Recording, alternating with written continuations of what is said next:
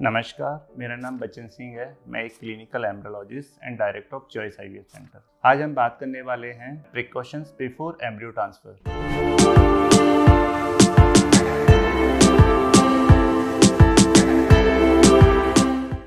embryo transfers जब decide करते हैं या एम्ब्रियो ट्रांसफर्स के लिए प्लान करते हैं कि हमें एम्ब्रियो ट्रांसफ़र करना है पेशेंट का। तो पेशेंट को बड़ी एंगजाइटी होती है, बड़े एंगजियस होते हैं उस चीज़ को लेके।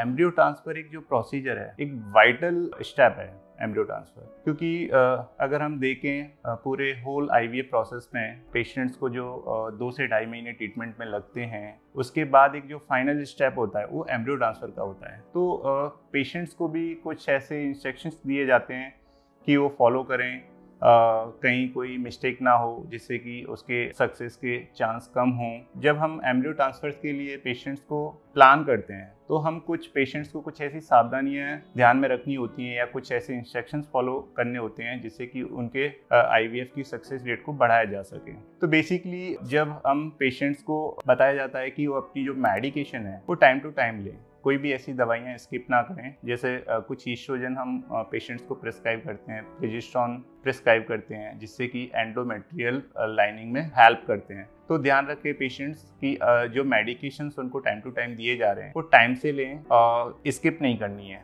जिससे कि अगर उन्होंने मेडिकेशन स्किप कर दी तो बीच में उनको स्पॉटिंग या पीरियड जैसा दिख सकता है। तो ये उनको ध्यान रखना है। बिफोर एम्ब्रियो ट्रांसफर्स हमें बताना है कि उनको कोई भी एंगजाइटी या स्ट्रेस नहीं रखना है, क्योंकि स्ट्रेस एक तरह से आपके जो प्रोसीजर है या जो आईवीएफ की सक्सेस है, वो बहुत अफेक्ट कर सकता है। तो आप ध्यान रखें कि स्ट्रेस बिल्कुल नहीं लेना है एम्ब्रियो ट्रांसफ़र से पहले। जो भी इंस्ट्रक्शंस डॉक्टर्स के द्वारा बताए गए हैं, उनको आप प्रॉपर फॉलो करें। कई सारे पेशेंट्स के सवाल रहते हैं कि हमें एम्ब्रियो ट्रांसफ़र से पहले खाली पेट रहना है या कुछ खा के आ सकते हैं। यूजली एम्ब्रियो ट्रांसफ़र प्रोसीजर से पहले आप ब्रेकफास्ट कर सकते हैं। खाली पेट आपको नहीं रहना है। एम्ब्रियो ट्रांसफ़र प्रोसीजर नॉर्मली बिना बेहोशी के किया जाता है। इसमें हमें फीमेल्स को बेहोश करने की ज़रूरत नहीं है। ये नॉर्मल प्रोसीजर है, जो कि पाँच से दस मिनट इस प्रोसीजर में लगता है। तो ये सारी चीज़ें ध्यान में रखनी है कि वो ब्रेकफास्ट या कुछ हल्का फुल्का नाश्ता करके आ सकते हैं। कई सारे पेशेंट्स का रहता है कि उससे पहले कुछ अपना डाइट इम्प्रूवमेंट करें तो उसकी वजह से सक्सेस रेट को बढ़ाया जा सकता है या क्या?